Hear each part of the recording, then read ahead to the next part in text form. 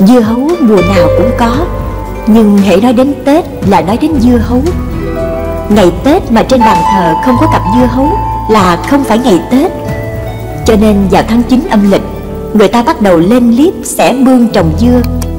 Dưa thì nhiều loại Dưa ăn tim, dưa hồng, dưa sọc, dưa vàng Dưa hắc mỹ nhân gốc Thái Lan. Kích cỡ cũng có khác.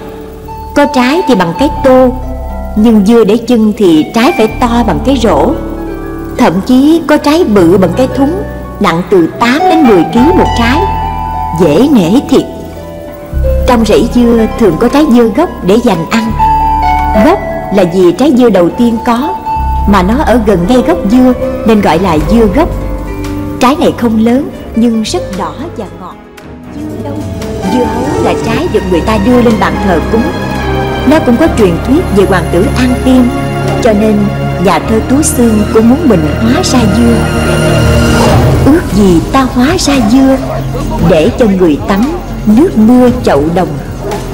Ước gì ta hóa ra hồng Để cho người bế người bồng trên tay.